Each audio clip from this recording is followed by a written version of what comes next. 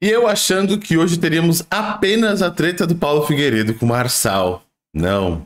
Agora essa treta acaba de escalonar. E temos Pablo Marçal agora contra o próprio Jair Bolsonaro. Dividindo aqui as opiniões no X, né?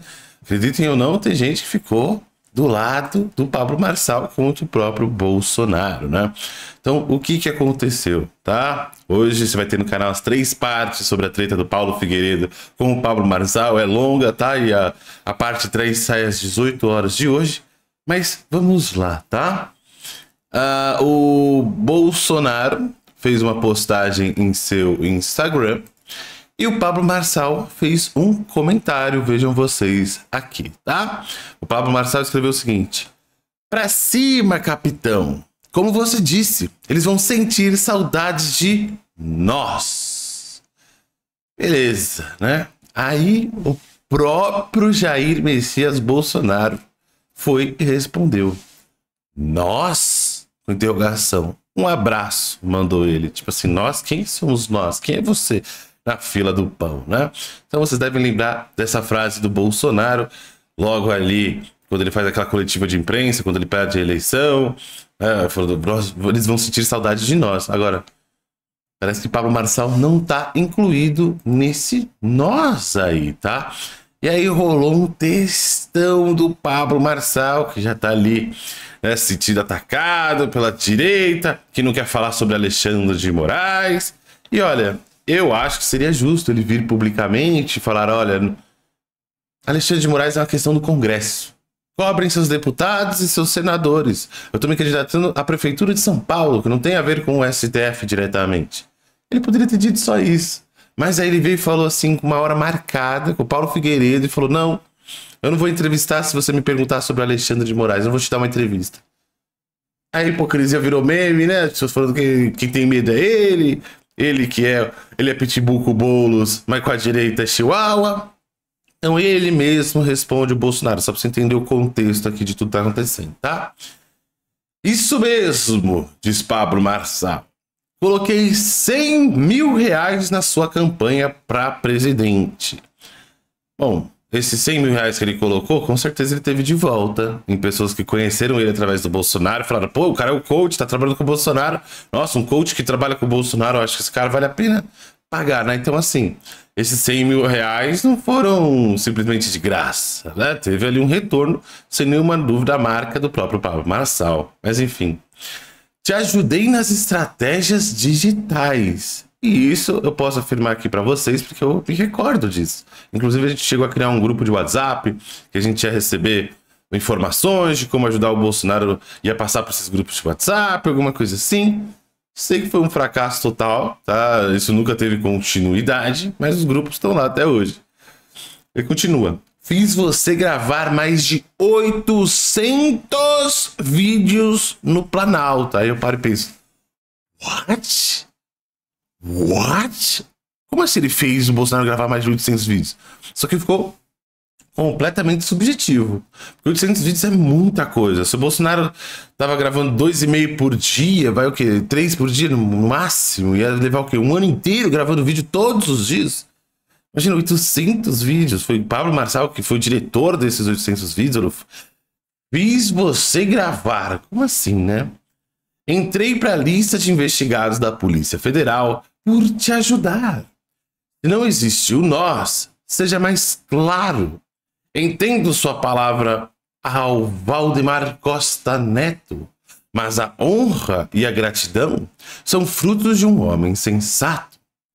Todos os nossos desentendimentos foram resolvidos. Almoçamos esses dias. Você me deu a medalha e continuo te respeitando. Só não nos curvaremos a comunistas na eleição de São Paulo. E se o capitão quiser me tirar do nós, me ajude devolvendo os 100 mil reais depositando na minha campanha aqui de prefeito a São Paulo, pois não estou usando dinheiro público e não vou colocar o meu próprio dinheiro, para não ser investigado mais uma vez. Se porventura o senhor não quiser ajudar na campanha, considere o nós como correto. Abraços e ainda mandou um coraçãozinho, né? E aí a internet, meus amigos, vá a loucura, né? Algumas pessoas aqui falando, não, Pablo Marçal enterrou a campanha dele, né? Vamos ler alguns comentários, mas também teve gente apoiando né? O Pablo Marçal Bielcon é um menininho aqui que faz umas legendas muito boas, o perfil dele é maravilhoso no X, tá? E aparentemente ele tá do lado do Marçal, então vamos ver a opinião dele, tá? É claro que eu vou ler a opinião de outras pessoas também. Mas ele diz: Bolsonaro respondeu o cara como se ele não fosse ninguém. Que ingratidão, que vergonha, diz ele sobre o Bolsonaro. O cara teve a candidatura impugnada pelo Xandão por apoiar justamente o Bolsonaro e colocar próprio dinheiro na campanha dele e do presidente. Apoiou no momento mais crucial de todos, em que o Janones prometia a de prata e fazia fake news contra o presidente. E hoje, por causa de uma fotinho com o Xandão, onde estavam todos os candidatos à presidência em 2022, estão fazendo de tudo para assassinar a reputação dele. 24 horas sendo atacado por todos os lados. Só agora ele vem conseguindo subir nas pesquisas. Querem que ele caia na armadilha de atacar o Xandão para sanar o ego dos que só querem ver ele preso e inelegível para o candidato deles no final perder para o Boulos. Isso sim é covardia, né? E acredito que não só o Bielcom, mas muitas pessoas têm declarado apoio ao Pablo Marçal e a gente não vê essa reciprocidade, tá? Pelo menos não publicamente. Essa é a opinião do Bielcon, tá? E teve outras pessoas aqui falando também que ele teria enterrado né, a votação. Outro perfil aqui diz o seguinte: o Vinícius Carrion, né? Pablo Marçal enterrou suas possibilidades de vitória para a prefeitura de São Paulo, mostrando aqui, né? Por favor, ele com a treta com o Bolsonaro, né? Ah, o Iba Guerra comentou: tudo isso que ela, eles estão fazendo é para Nunes se eleger e vai conseguir porque o Bolsonaro e a direita faz parte do sistema. Olha o que aconteceu com o Salles, por ou fora. Tiro no pé de 12. Né? A internet agora se dividiu, né? Se ele tivesse alguma possibilidade de ganhar depois dessa, ele jogou essa possibilidade na lata do lixo. Acabou o Marçal. O Lula ganhou em São Paulo capital. Vocês precisam parar com essa ideia de que vai ganhar quem o Bolsonaro apoiar. Se o presidente Bolsonaro não apoiou, ele foi certo, porque Marçal atira para todos os lados. Atacou recentemente até Carlos Bolsonaro foi contra Bolsonaro também, esse cara do sistema. Ele está indo com muita sede ao pote. Então, assim, quem é do sistema? Quem é contra o sistema? Essa treta toda. Eu sei que essa eleição aqui em São Paulo ainda vai dar muito pano para manga. Vamos ter muito que falar sobre, tá certo? Olha, a minha opinião é o seguinte, certo? Seja o Nunes, seja o Boulos, a gente não pode perder. É, desculpa, seja o Nunes ou seja o Marçal, a gente não pode perder pro Boulos. O que as pesquisas estão mostrado é que o Marçal tem tirado votos do Boulos. E muitos ainda votam no Mar... não votam no Marçal, desculpa, estão ali se afastando do Marçal, esses eleitores do Boulos, porque dizem que ele é bolsonarista. Os próprios bolsonaristas, né, alguns têm apoiado o Pablo Marçal, eu vejo isso. Mas, né, em geral, ali, depois de ele dizer que não vai participar da entrevista do Paulo Figueiredo, fica cada vez mais difícil a gente ver esse apoio. Já ele tem sugado, freado o próprio Boulos. Então, talvez isso seja, não sei, pode ser loucura minha, uma estratégia entre os dois para minar o Boulos, não sei, para ter mais votos da esquerda. Falar, ah, esse cara ah, eu gosto do Marçal, mas ele é bolsonarista. Não, o Marçal não é bolsonarista, não. Olha a treta deles aqui. O Bolsonaro não gosta dele, não sei o quê.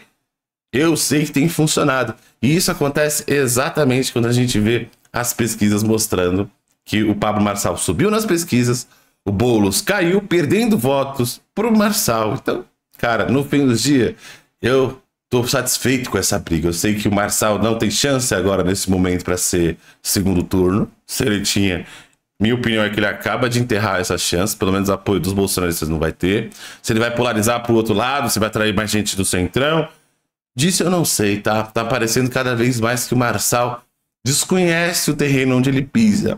Que ele não entende tanto de política, sim, ele entende muito bem, talvez, do, do, do trabalho dele, de economia, mas eu acho que ele tá pisando em lugares que ele não deveria pisar, desrespeitando pessoas que ele não deveria desrespeitar e fugindo de entrevistas que ele não deveria fugir, tá? Então, Marçal tava indo belíssimo, tá? Aí, de repente, hoje, nossa, do que? Ele tá contra o Paulo Figueiredo, né? Chequem os vídeos que vão sair hoje. Ele tá contra o Bolsonaro, que mais? Contra o Carlos Bolsonaro. Que loucura, gente. O que, que é isso? O que, que está acontecendo, tá? Então, eu não tenho nenhuma dúvida que essa eleição vai cada vez aquecer mais, teremos mais tretas aí, tá? Então, o Pablo Marçal não tá com o Bolsonaro? Bolsonaro seja mais específico, certo? O que, que aconteceu aí? Queremos entender. O que a gente entende é que Pablo Marçal no passado disse que Lula e ele eram a mesma coisa. Será mesmo? E até a próxima. Tchau, tchau.